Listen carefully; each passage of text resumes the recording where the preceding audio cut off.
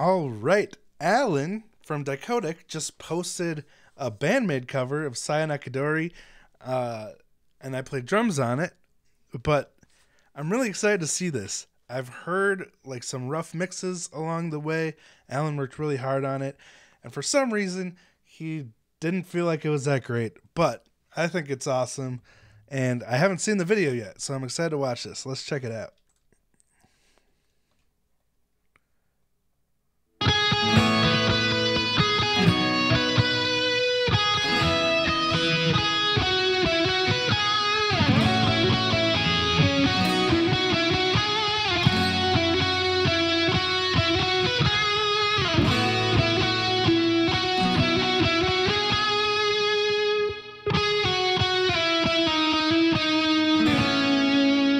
Dude, okay. Right off the bat, I gotta say it. Alan just goes 200% on everything. This video, it's the editing is so cool, so high quality. Like the amount of effort he puts into the video, making it look cool and polished, you gotta appreciate that. Oh, and Bjorn is on the bass for this, by the way. The bass playing is also phenomenal. Um, but yeah, I just really appreciate the effort Alan puts into the videos, doing like doing these cool cloning effects, having backdrops behind, uh, green screen work and stuff. Just gotta love that.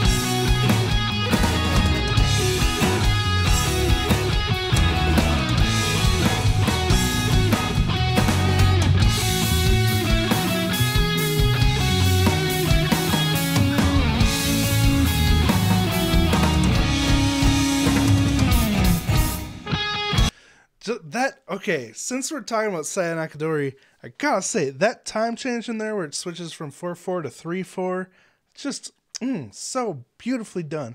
But dude i absolutely love this instrumental version. It's almost like blending the acoustic versions because it's the acoustic arrangement but blending that with the more rock electric sound you know? I think it's a really cool uh sound and the mix is phenomenal. The bass playing also everything's so tight. Like it's such an honor to be on this cover with these guys. Uh and by the way check out bjorn's youtube channel as well. He's done a lot of BAND-MAID remixes and covers and really experimenting with different sounds. So i'll put that below as well next to the link to this video. Uh anyway all right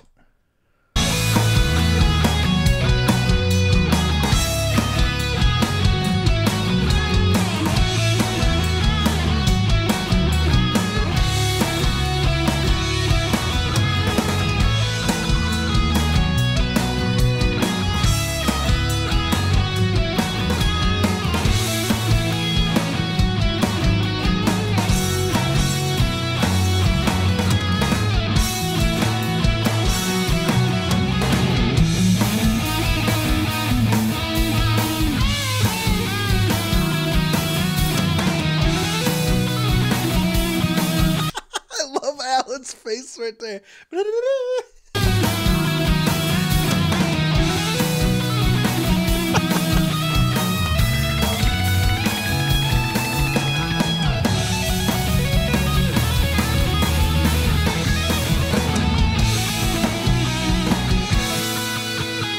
Dude, that guitar solo was awesome. Loved the seamless tapping he threw in there and the way he danced around the lead melody, but also did some really took some cool liberties, did some awesome improv.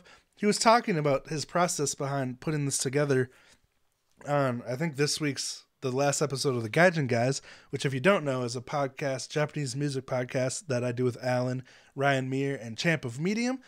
But dang, like Alan's such a great guitar player. Bjorn and Alan both are the best music mixers I know, and it's just such an honor to be on this cover with them.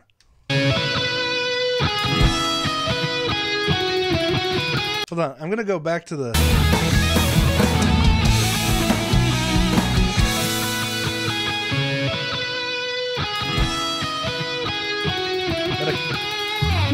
That, acoustic sounds so good.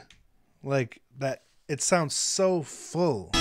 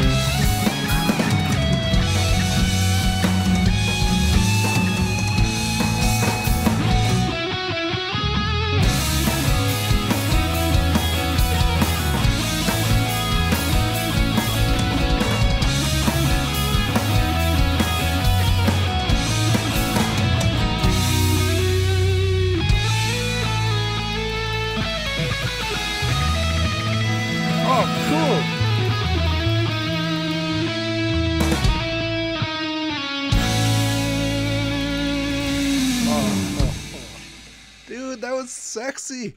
I love how he had Bjorn's bass as the backdrop for that. Right there. Oh, that's so cool.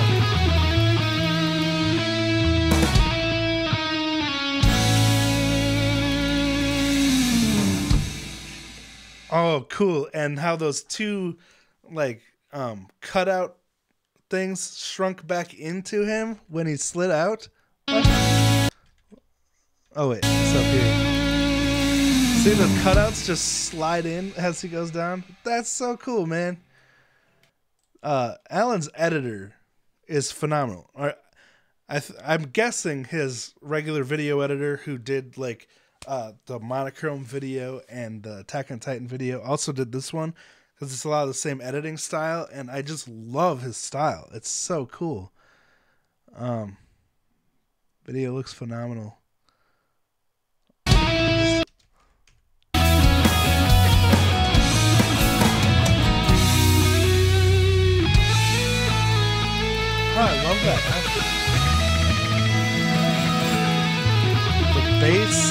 Ascending the power chord.